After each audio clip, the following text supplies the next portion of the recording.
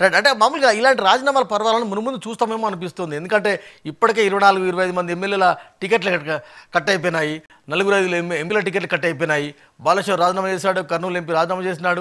ఇంకా రకరకాల రాజీనామా పర్వాలను వైసీపీలో మునుముందు చూస్తామేమో అనిపిస్తుంది. ఇప్పుడు ఒంగోలు ఒంగో- ఒంగోలు ఎంపీ మాగుంటి శ్రీనివాసరెడ్డి అదే పాటలో ఉన్నారు. అది ఆయన ఇవాళ కాదు. ఇవాళ కాదు. నేను ఏడు దాదాపు ఏడాది క్రితమే నేను చెప్పాను. ఏదో ఒక సందర్భంలో. ఆయన తెలుగుదేశం బస్సులో సీట్లో ఖర్చు వేసుకొని ఉన్నాడు. అక్కడ ఉన్నటువంటి పరిణామాల్లో గమనించాలి. ఎప్పుడు నెల్లూరు జిల్లాలో ఆనో రామనారాయణ రెడ్డి లేకపోతే వీళ్ళందరూ తిరుగుబాటు చేసినటువంటి సమయంలోనే. అందుకని రాబోయేటువంటి రోజుల్లో ఇంకా అనేక మంది నాటకీయ పరిణామాల మధ్య వాళ్ళందరూ వస్తారు. ఎందుకంటే అందరూ ఒకసారి వస్తే నాటకం అంతా వెంటనే అయిపోద్ది. అలా కాకుండా రంగాల వారీగా జరుగుతుంది. ఈ పార్టీ అయినా ఆ పార్టీ అయినా. తెలుగుదేశం అయినా అదే చేస్తుంది. లేకపోయేట్లయితే వైసీపీ కూడా అదే చేస్తుంది. ఎందుకంటే దశల వారీగా చేస్తేనే రోజు పత్రికల్లో మీడియాలో సమాచారం ఉంటుంది కార్యకర్తలకు కూడా కిక్కెక్కుతుంది ఆ విధంగా డెఫినెట్గా మీరు అన్నట్టుగా ఎంతమంది వస్తారు ఏ రూపంలో వస్తారు అనేటువంటిది ఈ రాజకీయ నాటకం ఈ యొక్క ఈ గేమ్ అనేటువంటిది మనం రాబోయే రోజుల్లో ఆంధ్రదేశంలో చూడబోతున్నాం. ఎస్ మరెడ్డి గారు మరెడ్డి గారు ఏం చెప్తారు శ్రీనివాస్ రెడ్డి గారు? వైసీపీలో కొనసాగుతున్న వరుస రాజీనామాలు ఇవన్నీ. అందరూ మీరు లాగేసుకుంటున్నారు మీ పార్టీకి వస్తున్నారు కొంతమంది కొంతమంది జనసేనకి వెళ్తున్నారు. ఇప్పుడు వెంకట్ గారు పెద్దలు చెప్తా ఉన్నారు మధ్యలో కూడా ఒకరికొకళ్ళు ఇదవుతా ఉన్నారు. ఇవన్నీ అవ్వాల్సిన అవసరం లేదు. వాస్తవాలు ఇక్కడ మనం డిబేట్లు ఏంటంటే మాట్లాడుకునేటప్పుడు ఎవ- ఎవరి అభిప్రాయాలు వాళ్ళు స్పష్టంగా చెప్తే ప్రజలు మన విశ్లేషణని లేకపోతే మన. అభిప్రాయాన్ని గౌరవిస్తారా తిరస్కరిస్తారో చూస్తారు. ప్రజల కోసం చేస్తా ఉన్నాం. ఇందులో నారాయణ రెడ్డి గారా మోహన్ రెడ్డి గారా మీరు అంటున్నది నాకు అర్థం కాదు. మోహన్ రెడ్డి గారు మోహన్ రెడ్డి. గారు. మోహన్ రెడ్డి. ఇప్పుడు మోహన్ రెడ్డి గారు వాళ్ళ పార్టీని డిపెండ్ చేసుకోవాల్సినటువంటి అవసరం ఖచ్చితంగా ఉంటుంది. ఆ పార్టీ నుంచి రిప్రజెంట్ చేసేటప్పుడు తప్పదు కదా. అందుకని వారు చెప్తారు. వారు అన్న దాంట్లో ఒక నిజం ఏంటంటే జగన్మోహన్ రెడ్డి ఈ రోజే అవమానపరిచాడా? ఈ రోజు బాలశౌరి గురించి అయినా లేకపోతే ఇంకొకటి నేను రెండు విషయాలు నేను ప్రశాంత్ చెప్తాను వెంకట్ గారు. మాట్లాడు మాట్లాడు. జగన్మోహన్ రెడ్డి అనే వ్యక్తి ఒక ముఖ్యమంత్రి రాష్ట్రానికి ఉండి ఇప్పుడు ఈ పార్టీ కేడర్ అంతా నిన్నటి దాకా లాలించి పాలించి బుచ్చగించి ఎత్తుకొని గోరుముద్దలు పెట్టి అవమానించాడా? ఇందులో వీళ్ళందరూ ఈ రోజుకి ఈ రోజు ఒక ప్రత్యామ్నాయ అవకాశం వచ్చింది కాబట్టి జగన్మోహన్ రెడ్డిని ఓడించగలుగుతాము జగన్మోహన్ రెడ్డిని కొట్టగలుగుతాము అనే ఒక ధైర్యం కనపడింది కాబట్టి చంద్రబాబు నాయుడు గారు జనసేన పొత్తుతోటి ఈ రోజు చాలా మంది ఇప్పటి వరకు పడ్డ అవమానాలను అయితేనేమి లేకపోతే ఆదర ఎక్కడైతే ఆదరించబడలేదో ఆ అవమానాలని తిరిగి చెల్లించడానికి సమాయత్తం అవుతా ఉన్నారు. రాజకీయాల్లో కోటేశ్వరరావు గారికి బాగా తెలుసు. పెద్దలకి బాల బాలాజీ గారికి మోహన్ రెడ్డి గారికి కూడా తెలియంది కాదు ఇంతకాలం రాజకీయాల్లో ఉంటే. రాజకీయాల్లో ప్రతివాడు ప్రతి విషయాన్ని అంతే ఓపెన్ గానే చెబుతారా? జగన్మోహన్ రెడ్డి ఓపెన్గా చెప్పాడా?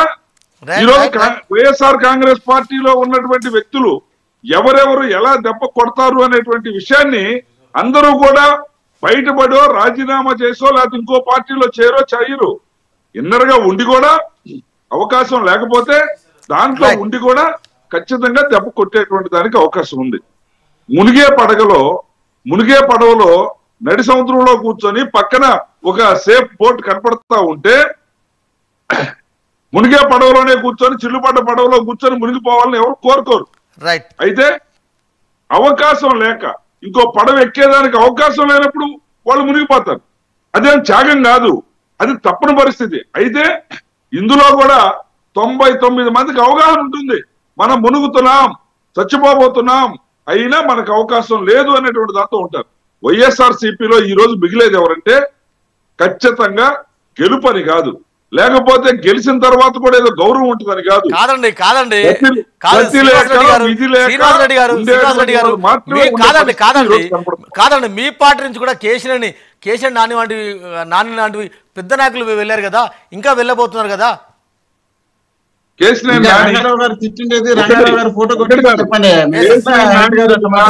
రాయపాటి రంగారావు మాట్లాడినా లేకపోతే ఇంకెవరైనా మాట్లాడినా ఇందులో వాస్తవాలు అందరూ ప్రజలు గమనిస్తా ఉన్నారు. ఈ రోజు వరకు కేసీఆర్ నాని గారు ఎంపీగా కొనసాగారు. అక్కడ ఉన్నటువంటి దాంట్లో ఈ రోజు వాళ్ళ కుటుంబంలో ఉన్నటువంటి విషయాలు కనపడతా ఉన్నాయి. కుటుంబంలో వాళ్ళ తమ్ముడికి వాళ్ళ మరదల పైన కారు పాసుకు సంబంధించిన దానిపై కేసు పెట్టిన దగ్గర నుంచి అనేక విషయాల్లో ఆస్తుల విషయాల్లో వాళ్ళిద్దరి మధ్య గొడవలు ఉన్నాయి. దానికి ఇప్పుడు వాళ్ళిద్దరి మధ్య అన్నదమ్ముల మధ్య ఆస్తి వివాదాలు తెలుగుదేశం పార్టీయో జనసేన పార్టీయో కారణం కాదు. ఆ ఆ నేపథ్యంలో తన తమ్ముడు తనపై చేస్తున్నటువంటి దాన్ని ఫ్రస్ట్రేషన్తో అతను సమర్థవంతంగా కుటుంబంలో కుటుంబంలో ఉన్న విషయాన్ని సమర్థవంతంగా సరి చేసుకొని చేతగాక తమ్ముడిని ఎదుర్కోలేక అక్కడ ఉన్నటువంటి ఆ ఫ్రస్ట్రేషన్ తోటి పార్టీని వీడిపోయాడు ఇది ఓపెన్. చెప్తా ఉన్నాను ఒక. ఎంపీ యొక్క వైఖరి ఏ విధంగా జరిగింది అనేది ఇప్పుడు మీరు. భోజనానికి పోయాడు టీ తాగాడు రాజీనామా గురించి మెయిన్ టాపిక్. నేను మచిలీపట్నం మాట్లాడుతున్నాను.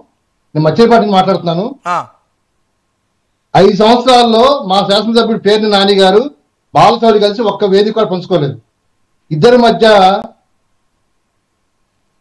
సపరేషన్. ఒక్క స్టేజ్లో కూడా ఆయన బందర్ పోర్టు కోసం ఆయన నిధులు తీసుకొస్తే ఆయన తెలియకుండా శంకుస్థాపన. మచిలీపట్నంలో భవన పట్టాభిచిత్ర భవన నిర్మాణం కోసం బాలసౌరి గారు నలభై కోట్ల రూపాయలు తీసుకొస్తే యూనియన్ బ్యాంక్ ద్వారా దాని ప్లాన్ ఇవ్వకుండా ఈ రోజు